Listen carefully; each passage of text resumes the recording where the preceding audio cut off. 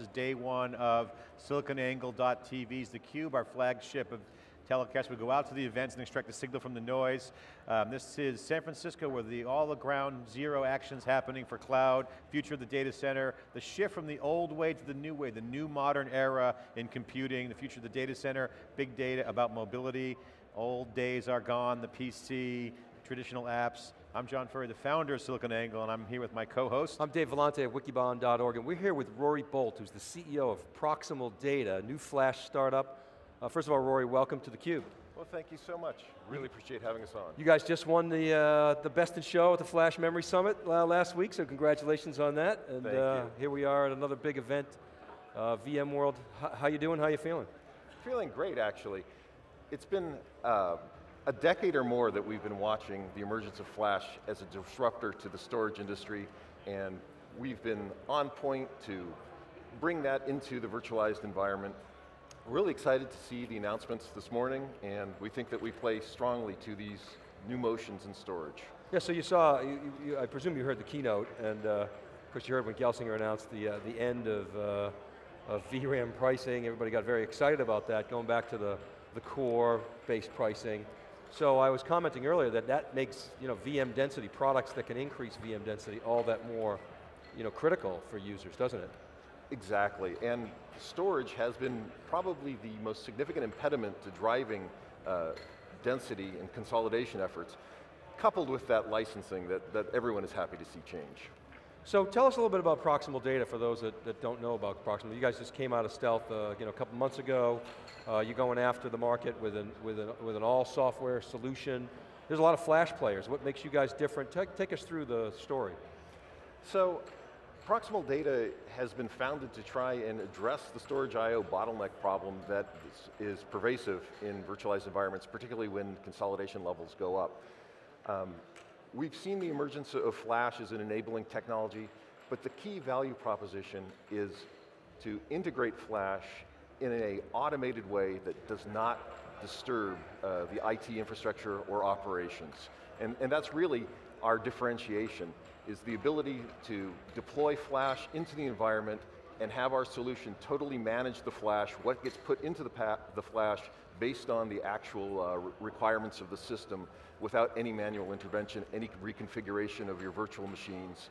Uh, it just works. So talk about that a little bit more, because I mean that's a two-edged sword, right? On the one hand, and you, you used to be at, at Avamar, right? And Indeed. Avamar was largely a, a rip and replace solution that helped really solved the problem in, in, in VMware environments, and it you know, did very well, but then there's data domain, which was a, a drop it right in, no friction, and uh, I guess I guess data domain won that battle a little bit. I guess they both won because they both got acquired. But but you've seen both sides of that spectrum. I, indeed. Um, and so how does that apply that concept to to Flash in particular, and what John and I were talking about in terms of data infrastructure, the the new data center infrastructure that we see coming. Okay, so you uh, hit on something that, that, that I'll pick up the lead on. So yes, I was with, with Avamar and we sold for $165 million, but this competitor of ours, Data Domain, sold for 2.2 billion. So I think it's fair to say that they won that battle. Uh, although we, we didn't do too badly ourselves. Post-acquisition by EMC, I had the opportunity to talk with hundreds and hundreds of customers deploying VMware, and the universal message coming back with the deployment of Avamar was they do not want to see guest agents. Agents are a major, major impediment to rolling out new initiatives in the data center. And so we took that message to heart. I took the experience of, of data domain versus Avamar to heart. And we specifically designed our product so that it wouldn't require agents and would totally be transparent to IT operations. That was one of the cornerstones of our product design. That's a good point. In fact, we have a spotlight later on uh, this week on, on backup, and, and we have an ESG analyst on, Jason Buffington. He just did some research and showed that the predominant model for deployment for backup is still agents. and, and backup, as we know, is one of the most heinous, you know, challenging processes in a virtualized environment. So, so you guys are circumventing the need for agents, uh, talk a little bit about, more about where you fit in the stack and, and essentially what your value proposition is and where the use cases are for Proximal. Okay, so we actually integrate directly into the hypervisor itself And as such, uh, we see all the traffic from all the virtual machines, and we analyze that traffic and determine what should be placed on flash and, and what is better served remaining out on the disks. So having done that, uh, we will just work by default once we're installed into the ESXi host. Uh, it, there's no further action required, but as is the case in all scalable uh, management solutions, the, the key in an enterprise is management by exception. And so we recognize there are certain applications that have different service level uh, requirements to them, and we allow you to uh, turn off caching either for a, um, a data store, so you could have a pool of storage at a different class of service, or actually at the individual guest machine level. But once again, that's management by exception. The default position is you install us, and that's it. We're running. Rory, talk about the um, IO-centric infrastructure that, that Wikibon put forth. We're now extending that to call data, in, data infrastructure to kind of redefine uh, what's relevant around kind of the old of converged infrastructure. Obviously data is at the center of the value proposition. Specifically Flash has changed the economics, obviously. Um, it's still expensive technically as a component, but in the overall scheme of things, the ROI, people are seeing 30%, 40% uh, economic improvements and then performance. So Flash has been at the center of this surge of on-premise um, performance and economics.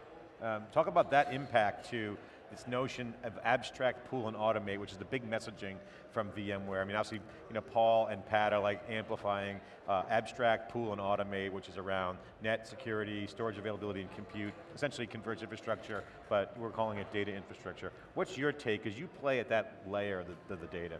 Yeah, well, we view Flash as sort of the ideal medium between uh, physical DRAM, which is more expensive than Flash, uh, but even faster than Flash, and the disks, which are obviously much cheaper and, and slower. And so we view flash as being a, a precious uh, commodity, a precious resource, and we want to make maximum utilization of those resources with the highest level of efficiency.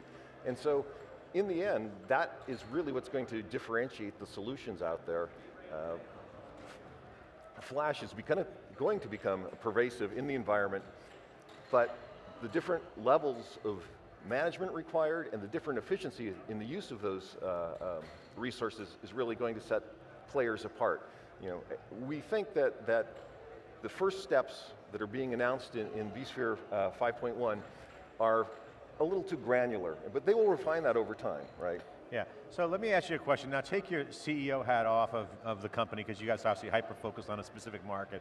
Put your industry hat on, you're a tech athlete, you're out there leading the company, you've been around the block, you've, known, uh, you've, you've, seen a few things. So tell the folks out there that are watching about, that aren't in the, in the inside baseball um, track of the marketplace. They're the, they're the IT professional guy out there, they're the data scientists, the analysts in the corporation, who are chartered with figuring out this new modern era of, of infrastructure from your perspective, tell them uh, what's really happening in this marketplace right now, this modern era, and how would you advise that IT professional or that, that um, data scientist or that analyst or that someone who's watching the tech industry who's not in the, in the know? So, I think probably the, the two largest trends that, that I see going forward are, are actually fairly obvious.